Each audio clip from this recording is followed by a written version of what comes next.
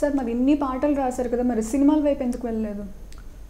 సినిమాల వైపు వెళ్ళాలనేటువంటిది కూడా డిగ్రీ రెండవ సంవత్సరం చదువుతున్నప్పుడు నా కోరిక.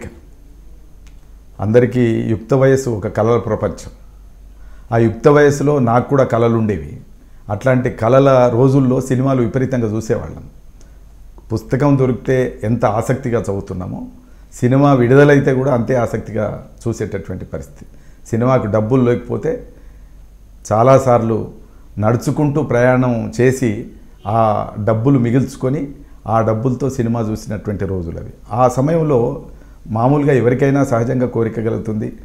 సినిమాల్లో తెర మీద మన పేరు కనిపిస్తే బాగుంటుంది అని చెప్పి ఆలోచన నాకు కూడా కలిగింది.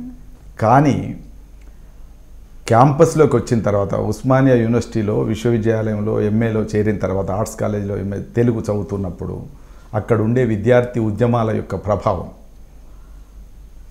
కళల ప్రపంచంలో జీవించాలా? కన్నీళ్ళ ప్రపంచంలోకి ప్రయాణించాలా అనే ఆలోచన వచ్చింది.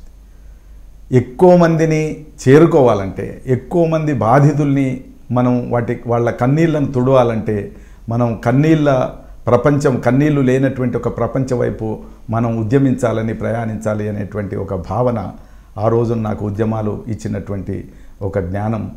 ఆ జ్ఞానంలోంచి నేను క్రమక్రమంగా ఈ నా ఒక్కడి కళ నెరవేర్చుకోవడం కాదు. సినిమాల్లోకి పాటలు రాస్తే అప్పుడున్న పరిస్థితి ప్రకారం లేదా ఇప్పుడున్న పరిస్థితి ప్రకారం కూడా కేవలం ప్రేమ గీతాలు మాత్రమే రాయాలి. అడపదడప ప్రేమ విఫలమైతే వియోగ గీతాలు రాయాలి. ఇంతవరకే ఉంటుంది కానీ జనసామాన్యం యొక్క కష్టాలు రాసేటటువంటి అవకాశం దొరకదని ఉద్యమాల్ని ప్రేరేపించేటటువంటి చైతన్య గీతాలు రాసేటటువంటి అవకాశం ఉండదని ఎక్కువ మంది ప్రజలను మనం చేరుకోవాలంటే చైతన్యపరచాలంటే మేలు జాగృతపరచాలంటే తప్పకుండా ఉద్యమ గీతాలు రాయాలనేటువంటి భావనలోంచి నేను అటువైపు వెళ్ళిన కళల ప్రపంచాన్ని వదిలిపెట్టి కన్నీళ్ళ ప్రపంచంలోకి వెళ్ళిన. కళలు అందంగానే ఉంటాయి ఒక చోట రాసుకున్నా నేను. కళలు అందంగానే ఉంటాయి కానీ కన్నీళ్ళ సంగతి ఏమిటి? కాబట్టి కన్నీళ్ళ సంగతి ఆలోచిస్తున్న క్రమంలో మెల్లమెల్లగా మెల్లమెల్లగా ఆ ఉద్యమ సాహిత్యం వైపు కవిత్వం వైపు ప్రయాణం చేస్తాను.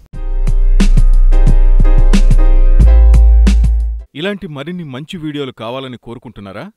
అయితే పక్కనే ఉన్న గంట సింబల్ను క్లిక్ చేయండి. అలాగే సబ్స్క్రైబ్ చేయండి.